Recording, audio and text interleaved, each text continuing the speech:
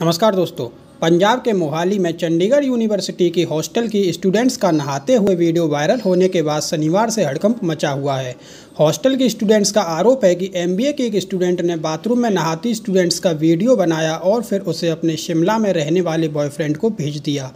इस कांड के बाद कई तरह के फैक्ट सामने आ रहे हैं। हालाँकि इसको लेकर सभी के अपने अपने दावे हैं, लेकिन उससे पहले इस पूरी घटना को अच्छी तरह से समझने की कोशिश करते हैं।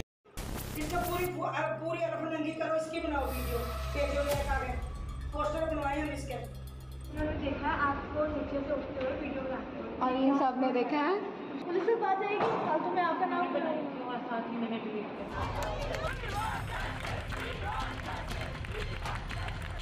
फिर आधी लड़कियाँ बोल रही थी हमने खुद वो वीडियोस देखी हैं। बोलते हैं सात बजे के बाद अंदर है तो सेफ़ है। अंदर एक लड़कियाँ सेफ़ है तब ये हुआ है। सात बजे के बाद ही गई है ना वो अंदर। उसके बाद ही हुआ ये सब।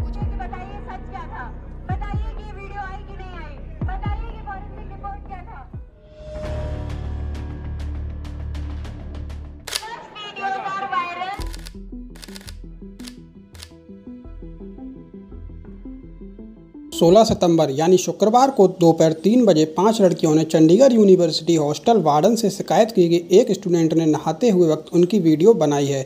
शिकायत के बाद जब वार्डन ने वीडियो बनाने वाले स्टूडेंट से पूछताछ की तो उसने वीडियो बनाने की बात कबूली और बताया कि वो उसने वीडियो बनाकर शिमला के सन्नी को भेजी है। दिन भर यूनिवर्सिटी की तरफ़ से कोई कार्रवाई नहीं हुई तो लड़कियों ने सुबह तीन बजे हंगामा शुरू कर दिया। हंगामा देख यूनिवर्सिटी ने जब पुलिस बुलाई तो लड़कियाँ पुलिस से भिड़ गईं और पुलिस की गाड़ियाँ तोड़ी दी जिसके बाद पुलिस ने लड़कियों पर लाठीचार्ज किया। यूनिवर्सिटी प्रबंधन ने भी मामले को दबाने के आरोप लगाए जा रहे हैं। शुरुआती जाँच में पता चला कि स्टूडेंट ने खुद का वीडियो बनाकर भेजने के बाद डिलीट कर दिया था।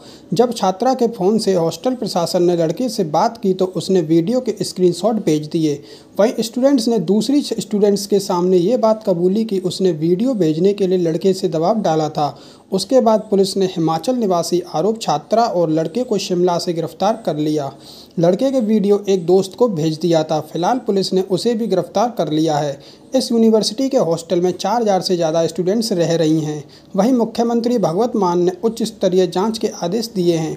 इसके बाद पुलिस ने एसआईटी से जाँच कराने की घोषणा की इस घटना में साठ लड़कियों के वीडियो वायरल होने की बात कही जा रही है।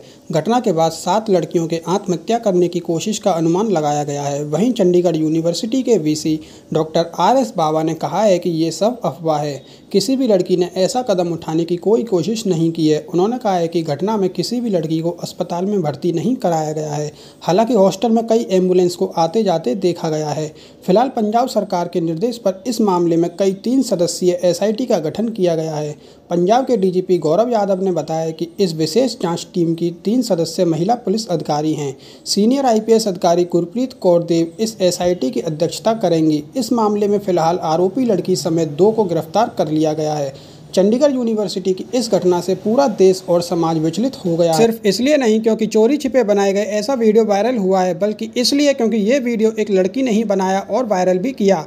ऐसे में सवाल यह उठ रहा है कि क्या अब महिलाएँ महिलाओं के बीच भी सुरक्षित नहीं हैं? अगर यहाँ भी सुरक्षित नहीं है तो सुरक्षा और प्राइवेसी के लिए वो किस पर और कैसे भरोसा करें? इस मामले में यूनिवर्सिटी मैनेजमेंट और पुलिस की भूमिका भी मामले को दबाने वाली ज़्यादा लगती है। जब छात्राओं ने न्याय की गुहार लगाते हुए इसका कड़ा विरोध किया और ऊपर से दबाव पड़ा, तब जाकर पुलिस हरकत में आई। इस पूरे घटनाक्रम के तीन अहम बिंदु हैं। पहला तो लड़कियों के हॉस्टल में सुरक्षा प्रबंधों पर नए सिरे से विचार की ज़रूरत। दूसरा, हॉस्टल में रहने वाली हर छात्रा की गतिविधि पर नज़र। हालाँकि यह बहुत कठिन काम है और तीसरा गर्ल्स हॉस्टल की विश्वसनीयता फिर से कायम करना। इस घटना के बाद यूनिवर्सिटी के हॉस्टल में रहने वाली छात्राएँ हॉस्टल छोड़कर चली गई हैं। वो शायद ही वापस आएँ। आना चाहें तो भी उनके पेरेंट्स जो खुद भी भीतर से हिले हुए हैं, इसकी अनुमति शायद ही दें। इसी के साथ ये सवाल भी जुड़ा है कि अगर इतनी बड़ी संख्या में छात्राएँ हॉस्टल छोड़ रही हैं तो वो बाद में रहेंगी कहाँ? इससे छात्राओं के रहने की नई समस्या पैदा होगी। वो एक अलग मुद्दा है। दरअसल 21वीं सदी में मोबाइल संस्कृति अब जिस विकृत दौर में पहुँच गई है, चंडीगढ़ कांड, उसका एक चेतावनी भरा उदाहरण है। इससे यह भी पता चलता है कि आत्म केंद्रित हमारी युवा पीढ़ी क्या सोचती है, संस्कारों का अर्थ किसके लिए क्या है और उसके मनोरंजन के तरीके क्या और कैसे हैं? वो शायद इस बात पर विचार करने के लिए भी तैयार नहीं है कि उनकी घिनौनी हरकत से पूरा समाज किस तरह से प्रभावित होता है। यही नहीं मोबाइल एडिक्शन में इस महारोग में शीलता और अश्लीलता की पर्दादारी भी तकरीबन ध्वस्त हो चुकी है। आपका इस बारे में क्या विचार है हमें कमेंट में ज़रूर बताइएगा। इन्फॉर्मेशन अच्छी लगी वीडियो को लाइक और चैनल को सब्सक्राइब